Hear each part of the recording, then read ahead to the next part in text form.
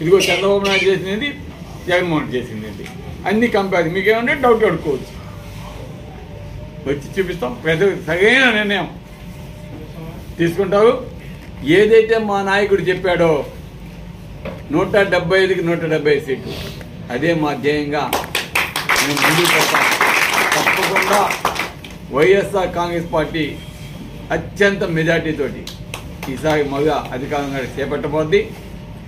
ఈడ మీరు ఎన్ని అవాకు చవాకు పైన పెద్దగైతే సరైన నిర్ణయం తీసుకుని మీకు బుద్ధి చెప్తారు కాబట్టి రేపు జరగబోయే ఎన్నికల్లో కూడా సరైన నిర్ణయం ఆలోచించి మా టీచర్స్ మా